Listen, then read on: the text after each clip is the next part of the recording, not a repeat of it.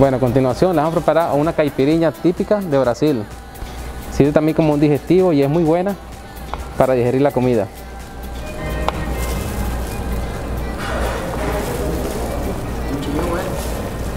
Concepto nuevo, hay que quitarle la concha a la caipiriña. Correcto, hay que quitarle la concha para así quitarle como lo amargo del limón. Para que no amargue. Correcto. También se le pueden dejar como adorno un poquito. Bueno, esta es la receta original con cachaza. Tenemos ahí una cachaza Correcto, con importada con certificación de origen, producto brasilero 100%. ¿Ustedes la comercializan acá? Sí, si, la, si quieres una caja, 15 botellas, 10 botellas, también se te puede vender. Excelente, así es que se gobierna. Sí. Bueno, aquí falta poco para coctelear. Dependiendo de cómo le gusta a la gente. Si a la persona le gusta dulce, se le coloca más azúcar. Si le gusta suave, se le coloca menos azúcar. Tradicional. Correcto. Hazme una tradicional que yo sienta que estoy allá En el una sur de Brasil. playa en Río de Janeiro Bueno, esta misma es. Para que te refresque. para que me refresque. Brasil es un país de color. Ella es algo más Sí, refrescante. de mujeres hermosas. Ella más que todo es refrescante. Una bebida muy refrescante. Correcto.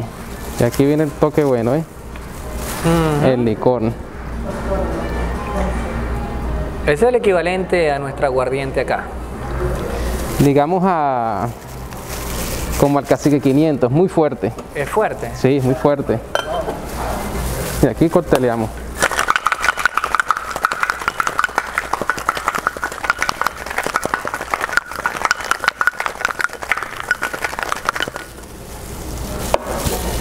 Si ahorita estabas, estabas prendido dando vueltas, imagínate con esta. Este es un buen cóctel. Sí. Muchacho, ¿cómo hiciste para volverlo granizado? ¿Está mejor que el mago Chicho? Sí. Cambió la textura, se ve espesa. Bueno, ya vamos a degustar este Ese, sabroso cóctel. sí.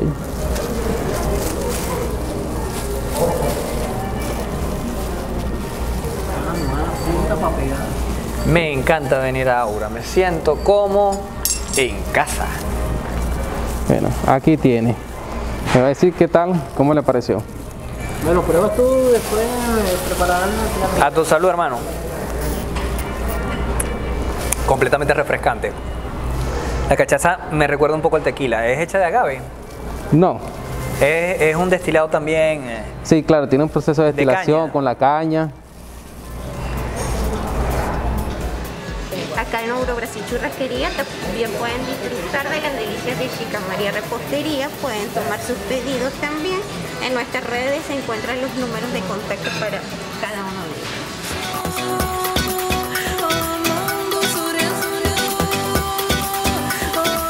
Nos vinimos a la cocina donde a Yusir, el maestro parrillero gaucho. ¿Cómo se dice el maestro parrillero? É, churrasqueiro. El churrasquero de esta Churrasquero. prestigiosa churrasquería, Ouro Brasil. Nos va a degustar y nos va a echar el cuento de todos estos cortes brasileros que para nosotros no son muy comunes. Ustedes tienen algo que se conoce como picaña, tienen que para nosotros es, es- es otro tipo de cosa. Creo que es la punta, ¿no? La punta trasera. Sim, sim, essa, essa é a punta traseira. Em Brasil é conhecida aqui como a picanha. Picanha. Essa picanha.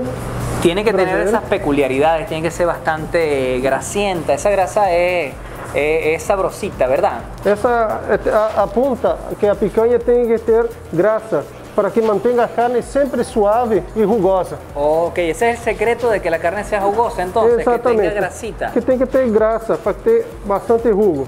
E trabalhamos acá com puro sal grosso. Sal gruesa solamente. Lo- Solamente. la única sazón de ustedes es sal gruesa y buena carne, carne de calidad. Exatamente, carne de qualidade, sal grossa e uma boa candela.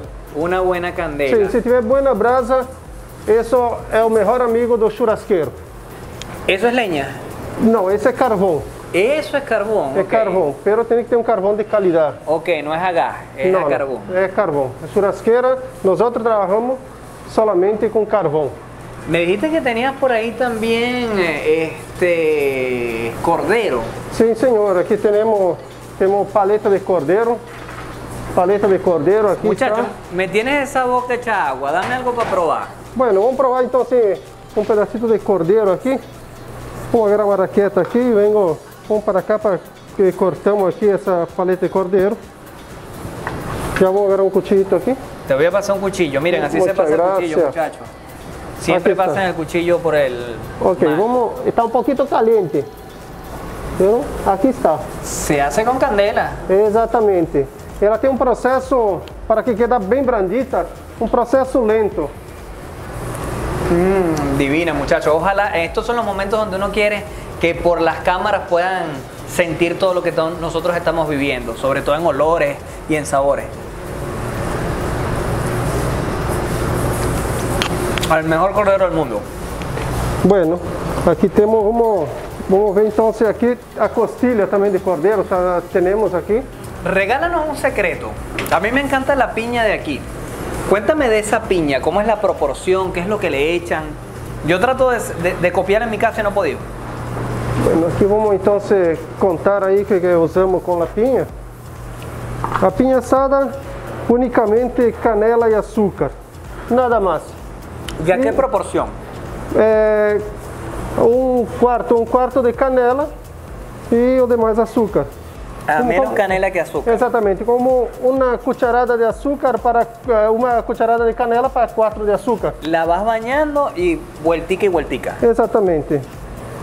Oye, voy a llevarme bastantes conocimientos para aplicarlos en mi parrillera. Yo tengo una parrillera igualita a esta en mi casa, igualita. Lo único que le falta es el poco de varillas, el poco de metal y el poco de candela. Del resto es idéntica. Bueno, aqui tem outros também outros cortes de carne.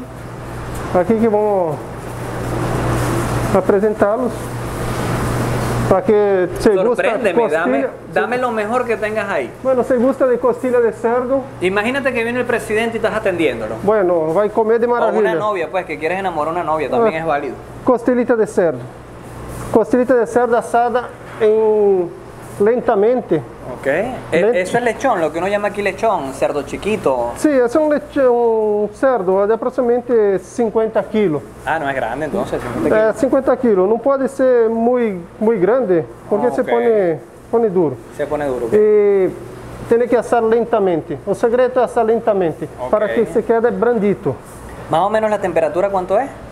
Bueno, aqui está uma temperatura de, de 100 grados. 100 grados, Pavi. Sí.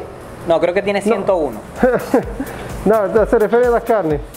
Exactamente. Ok, não. Bueno, hermanos, vamos a degustar este rico plato y nos vamos a la barra a ver qué nos tiene esta gente preparada.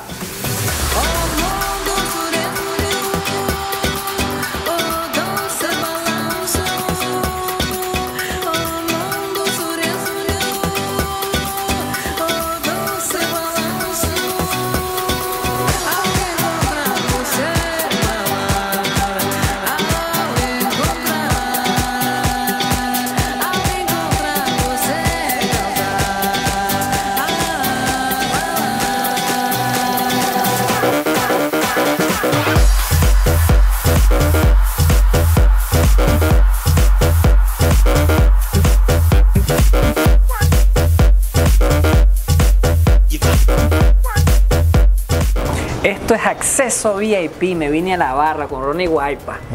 Ronnie, ¿qué me vas a hacer?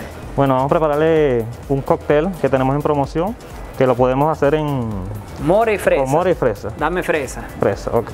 Mira, lo primero que debemos hacer es una fresa, Esas fresas se ven buenas. De todas maneras, vamos a mora ver qué sabe. tan fresca. Ajá. Una cucharada de Granadina. granadina.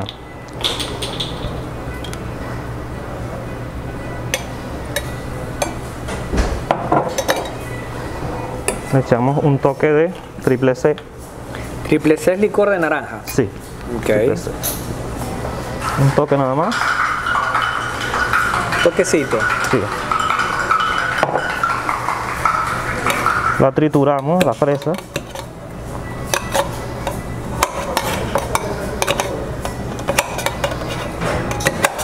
Una especie de macerado. Sí. Que triturarla un poco. Solo un poco, ¿no? Ok. Que quede en pedacitos, que se sienta. Sí. Esa es la idea.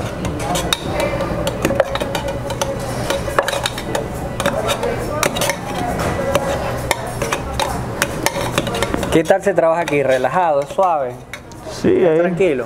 es normal, pero este movimiento hay veces que Que se mueve. es fuerte yo.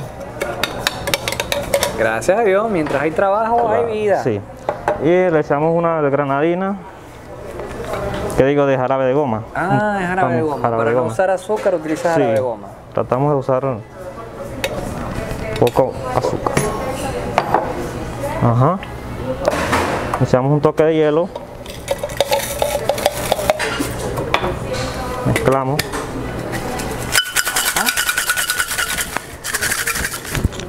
Cinco segundos más o menos. Agarramos una copita por aquí. Servimos en una copa de margarita, Ujú, Martín. de martini. Sí. Y echamos otro poquito de hielo Completamos con hielo y salud. y un toque de vino. Un poco de vino. no tengo- Hermano, eso es una bomba. Le vas a meter vino también. Sí. Como les digo, Ouro es una experiencia, es toda una experiencia. Listo. Y decoramos con una fresa. Los invitamos a venir a vivir esta experiencia, porque como les digo, esto es toda una experiencia. Y listo. Eso es todo. Lo revuelve y lo prueba. Me dice cómo está. Salud, Rodney. Salud.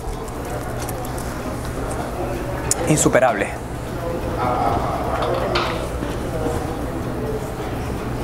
¿Qué le pareció el cóctel? Muy bueno, muy bueno. Uno de los mejores que he probado.